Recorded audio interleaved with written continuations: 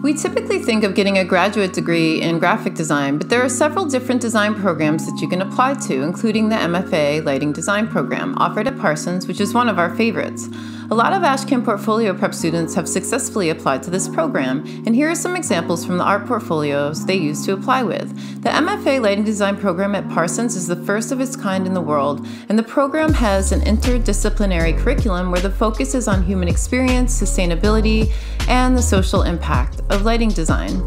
In 2012, Parsons began offering an MFA double major combining the established interior design and lighting design MFA programs. It's a three year double major that enables students to develop critical, sustainable design thinking and technical skills associated with lighting design and interior design.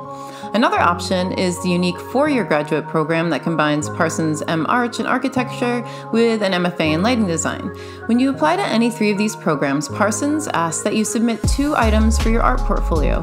One, a video introduction where you discuss what you see as the major challenge of your generation, how it manifested where you live, and in your opinion, how lighting design and built environments helps to address this challenge.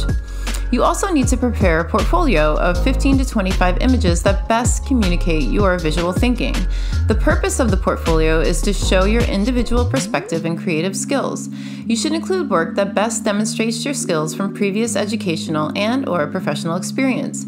Sketches and conceptual work can also be included. So if you want to apply to a program that was designed to explore the intellectual, aesthetic, and technical dimensions of light, one of these programs is for you.